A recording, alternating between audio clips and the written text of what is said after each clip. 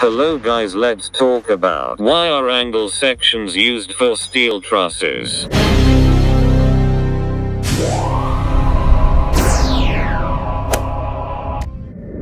Hello guys let's talk about why are angle sections used for steel trusses. Reason 1. Angle sections are more resistant towards buckling than plate sections. Reason 2. Reversibility of load acting on the truss. It is quite possible for a truss to experience ever changing loading in terms of both magnitude and directions. Under any given loading condition, a set of truss members remain in compression while others remain in tension. For one loading condition, a group of truss members remain loaded in compression while for a different loading condition, a different set of truss members remain loaded in compression. Although plate members perform very efficiently in tension but they perform poorly under compression as they buckle under insignificant load. Reason. Very small radius of gyration. So in place of plate members angle section members are used which can significantly resist buckling in comparison to their plate counterparts.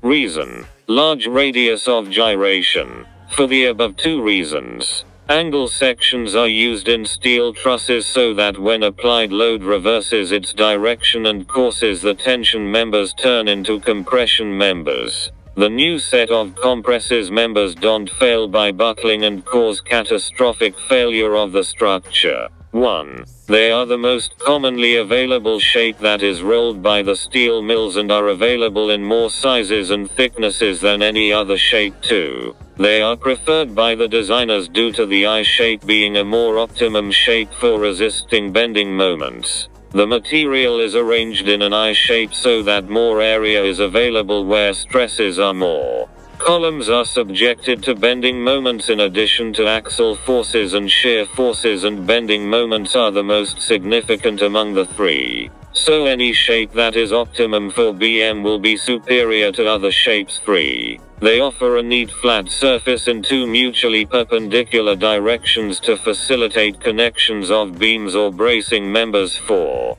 Bolting other members to a column is easier since both the nut side and bolt head side are accessible. In tubular hollow sections unless the bolt passes right through the entire cross section. The far side where the nut is to be located will not be available for tightening due to being inside the tube 5. You can fabricate a customized I section by cutting three rectangular plates and assembling and welding them together to form an I shape.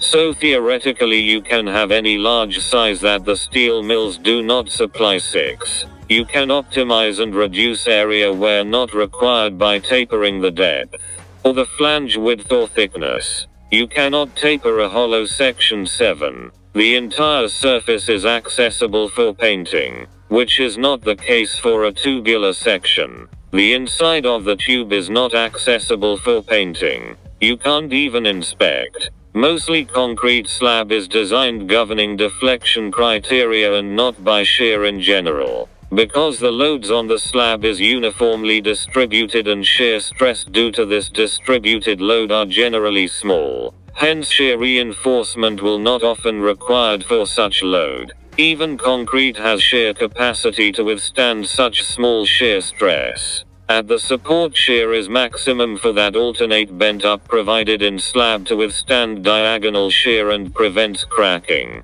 Also, the use of bent up bar permitted development of tensile strength also they are acted as shear reinforcement. However, in case of heavy concentrated load and in flat slab when shearing stresses exceed shear strength, then slab needs to be designed for shear and reinforcement are provided accordingly.